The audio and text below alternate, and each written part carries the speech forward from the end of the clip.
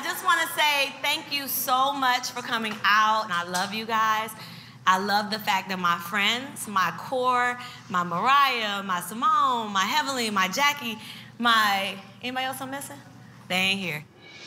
So I, they ain't my core, right? Scott wanted to say something for his wife. Uh -oh. Yeah, my wife is, uh, she couldn't make it because she's with her father who uh, is not feeling too well, who flew into town to see her.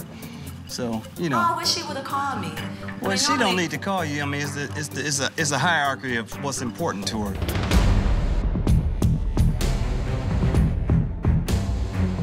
I have parents, too. They've been sick. I've called on all of okay, you. Okay, let's not do that. And I'm just saying, he, he stopped my speech. Can I talk to Contessa? Contessa, where are you? You're not coming? Would you like to talk to Toya and tell her why you're not here? Toya, Thank you to the people that Contessa's are here. on the line. She'd like to talk to you. She can talk now? Yeah. Toya, hey, you're not Contessa, that important. Is everything okay with your dad?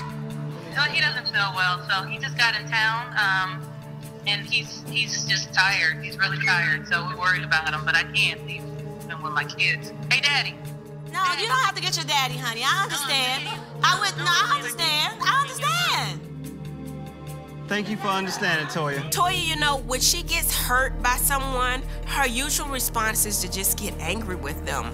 She's not mad at the fact that Contessa's not there. She's mad at the fact that Contessa didn't think enough of her to actually call and tell her that she wasn't coming. Maybe Toya needs to see an anger management doctor, too.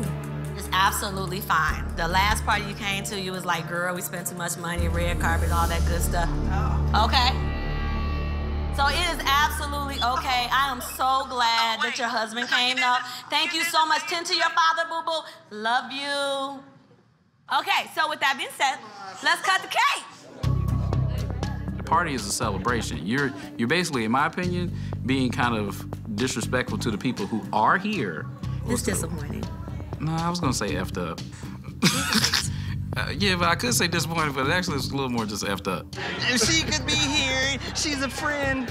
Look, look, one thing, you know, you met my wife, so I'll tell you what, if it would have been me not here and the dude saying something, my wife would have been went off right. worse than I right. would have, because she don't play. Say it to her face. Yeah.